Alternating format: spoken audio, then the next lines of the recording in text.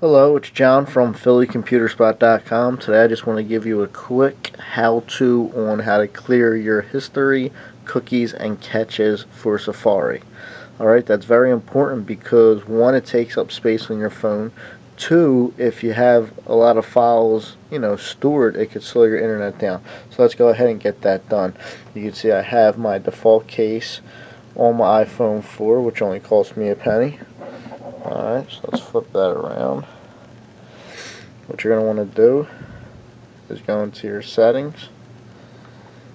Alright, just go right to Safari. Scroll down, and you see the three options right there. First, you just want to click Clear History. It's going to ask you, are you sure you want to clear history? Just click Clear History. Then also hit clear cookies. Are you sure you want to clear all cookies? Click on clear cookies. And then last, clear cache. Are you sure you want to clear the cache? Clear cache. And what that would do is clear out all those temporary files on your phone which you don't need to have stored on your phone because it's just taking up room and like I said it can slow your internet browser down.